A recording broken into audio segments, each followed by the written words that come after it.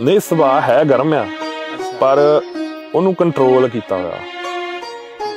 ਯਾਨੀ ਜਿਵੇਂ ਕਹਿੰਦੇ ਆ ਨਾ ਵੀ ਡੇਂਜਰਸ ਉਹ ਬੰਦਾ ਨਹੀਂ ਹੁੰਦਾ ਕਿ ਜਿਹਨੂੰ ਲੜਨਾ ਆਉਂਦਾ ਆ ਜਾਂ ਜਿਹੜਾ ਐਵੇਂ ਗੱਲ-ਗੱਲ ਤੇ ਲੜੀ ਜਾਂਦਾ। ਡੇਂਜਰਸ ਉਹ ਆ ਜਿਹੜਾ ਲੜ ਸਕਦਾ ਪਰ ਲੜ ਨਹੀਂ ਰਿਹਾ।